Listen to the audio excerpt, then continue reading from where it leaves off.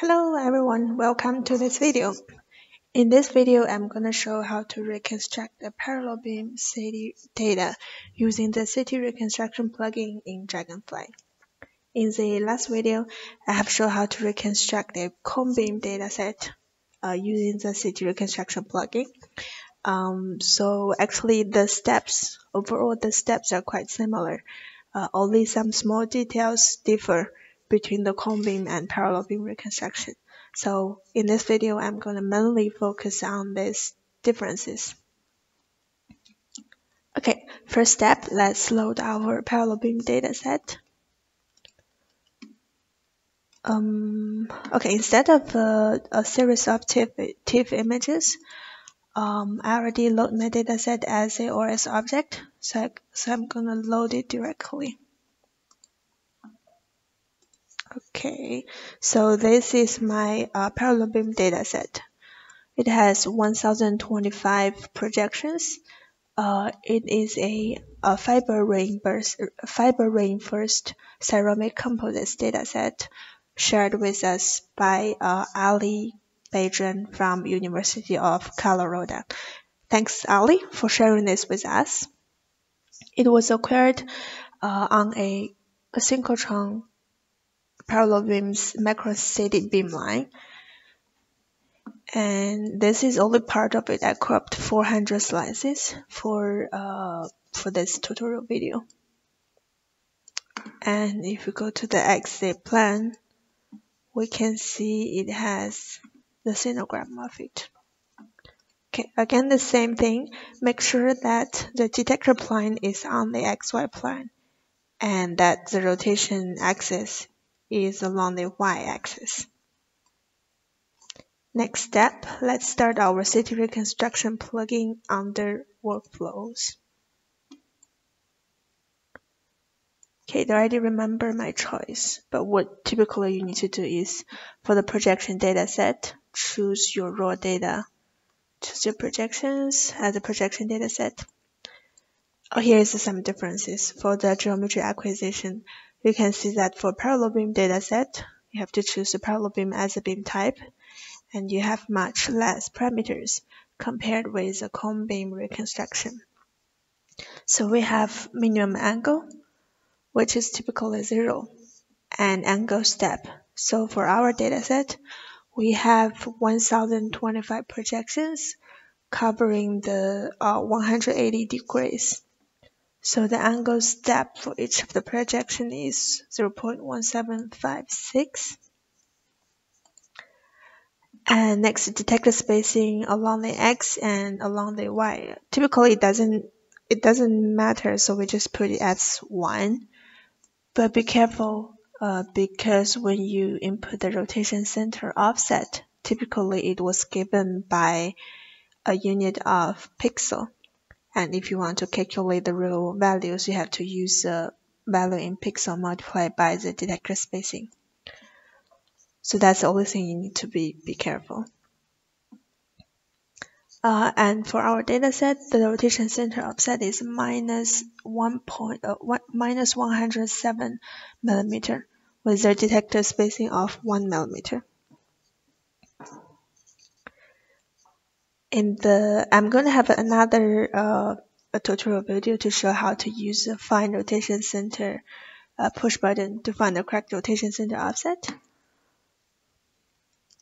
If you're interested, please don't uh, don't forget to look at the other one.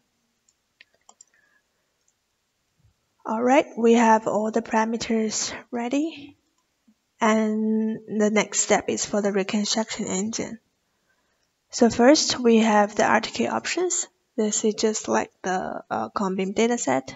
You can choose algorithm of FDK and there's an extra uh, options here. You can choose the mask ratio, which means it's gonna apply a mask to only crop the central cylinder region and remove the uh, background on the edge.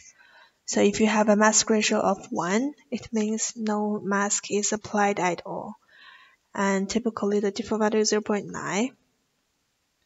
We will see what it looks like when we have the preview ready. Um, Okay, so this is the FDK, uh, this is the RTK FDK algorithm. Another option, you can use a TomoPy reconstruction engine. And in TomoPy reconstruction engine, there are two options. The first one is the GridRec. And you can choose which filter you want to be uh, applied. And the second one is the ART. The ART algorithm is an iterative algorithm, so you have to choose a number of iterations over here. But again, since it is an uh, iterative method, it typically takes longer. So I would recommend to use either RTK FDK or TomoPy GridRec for your reconstruction. Can show both. Uh, pre-processing. Typically for parallel beam dataset, uh, flat field correction is required. But uh, again, let's put this in uh, another tutorial video, which I'm gonna uh, talk about all the preprocessing filters we have. Okay, let's skip this part for now. Uh, then basically we already have everything ready. So now we can compute preview. That is super fast. Okay, you can see there's a round, seems like a round mask in the center. So that's basically what mask ratio do. So we are gonna crop out the the the background on the edge, have all the central regions here. Okay, and that is our data set for one page. I believe those round thing in the middle is a fiber we are looking at the cross section of the uh, fiber and ceramic in the central.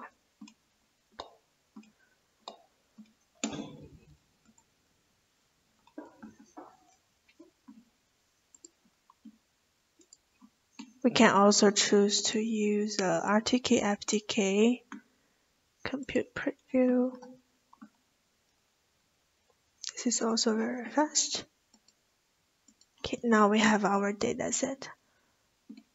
Well, for this one, the mask is not that obvious, but if we do the window level, you can see here. There is a sharp edge with a mask ratio of 0.9 here. And that is our reconstruction.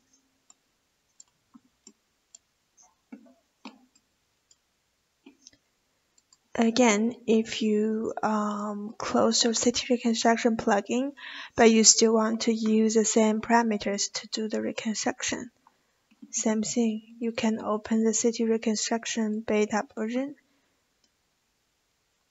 So now we lost all our options and we have the cone beam and the other options. You can use import inputs from preview. Let's choose the preview one for size 200 okay. So it's going to remember all your options over here. And then we can do our reconstruct and load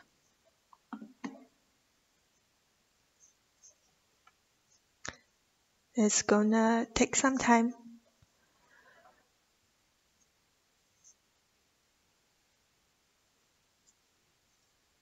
Alright, the reconstruction is done.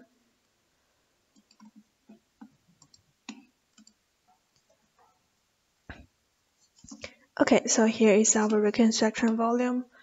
We have all the 400 slices reconstructed. As shown here. If we go to the XZ plan, we'll see the fibers.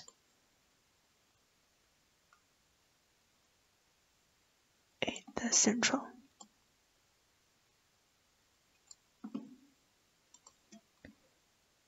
Okay, and the reconstruction save option is exactly the same as uh, what I have shown in the last video. I'm not gonna uh, show it again in this video. So that's basically all for today's video.